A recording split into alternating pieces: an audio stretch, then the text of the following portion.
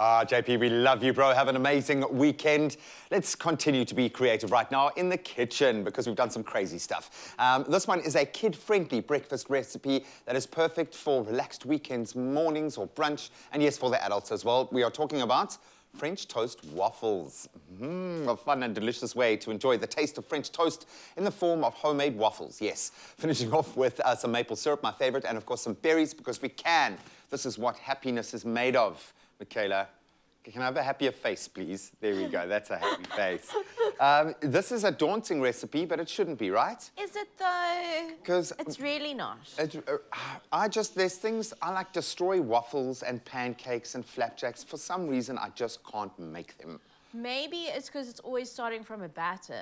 In this case, you aren't really making a batter. You're just making like bread. a saucy bit that you dip your bread in. Oh, you've saved me already. See? I love it. Okay, now the flavor is going to be all important here. Okay, well, actually, it's not all important because the bread is going to be quite important. And which Yes. bread have we selected here? Brioche. Yummy. I love brioche. What is it about a brioche that makes it so special? Why does It's it look the like this? eggs and the butter and the milk that goes into it. Okay. It's an enriched dough. It's been So enriched.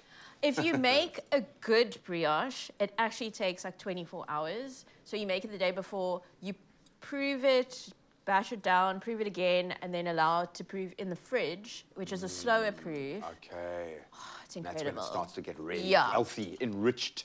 I love it. 100%. Okay, so what's going into enriched? Um, what's going into our, the batter that, well, the, the sauce of well, egg mixture, I don't know what you would call that professionally, that our egg is, our bread is going to be dipped into. Eggs. Did Mm-hmm. you just, did you say bread or did you say eggs? I got confused there. I don't know what was happening with my brain. Eggs, cream, sugar.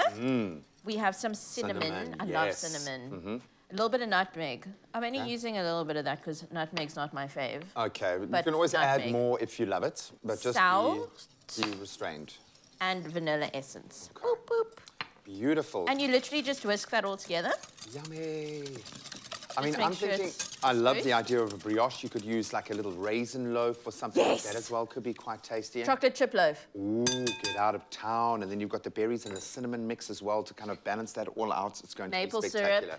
And the best part about a waffle mm. is the little holes. To hold the syrup, yeah. Exactly. Come on, get out Exactly. of town. Okay. I, I like the maple syrup profile because there's something I, I was trying to ascertain, like an earthiness, or there's something about maple syrup that's just, it's not too intense, not like a golden syrup that's just going to blow you away. Yes. It's just, it's a bit more balanced. Okay, so I see. Okay. The, the tricky part is making sure that you don't Break the kind of bread. break your bread. Okay. Drain any excess off. Okay, otherwise you will have little strings of scrambled egg. Did you hear that? Did you Oh, hear that sizzle? goodness. Yes. Yes, yes, yes. And you could, and you spray your, your um, little waffle pan with a bit of spray and cook Oh, there just to be there careful. is some but- butter there. Could you just um, pretend as if I did it? Yeah, no, I, I guaranteed that our kitchen fairies did it for sure. Um, Good. go. Look at Then you that. close your waffle iron and you Dun, dun, get it to your standard of goldenness. Oh, I I like that. mine quite golden. Yeah, I prefer quite a, a nice caramelization on the on the outside, and you want it to be nice and light and fluffy in the middle, so not too too dense with the dip. And that's my biggest thing is I often will leave it to soak for a little bit too long. Yes. So just kind of use a bit of restraint there, as I said. Easy peasy. Nice. No, I'm just going to keep holding these. un- until the next one comes yeah. around. I love it. And then you can find it on expressoshow.com. I'm going to waltz across this side and have a little bit of a taste. um, Nice. because these are going to get chowed. I have no doubt that these are going to last about three seconds. So I'm going to take one blueberry. I love a oh, good old come on. blueberry. It doesn't want you. No. stuck to that maple syrup. has, it doesn't know me yet. That's right. It just doesn't know me yet. There we go. Mm, mm, mm, mm, mm, mm. Mm, wow. Ooh, some ice cream on there would have Mm. been like incredible. Absolutely, but the berries, you need that summer kind of fruit addition there, but the, it's the cinnamon and the nutmeg kind of shining through there. Absolutely beautiful, beautiful texture, amazing.